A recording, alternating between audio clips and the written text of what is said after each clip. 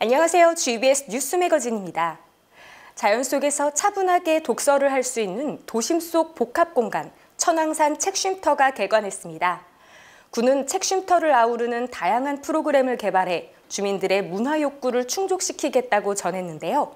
그 현장 지금 만나보겠습니다. 지난 23일 천왕산 책쉼터 개관식이 열렸습니다. 항동에 위치한 책쉼터는 산책과 휴식을 취하는 것은 물론 독서, 체험 등을 접할 수 있는 복합 공간인데요.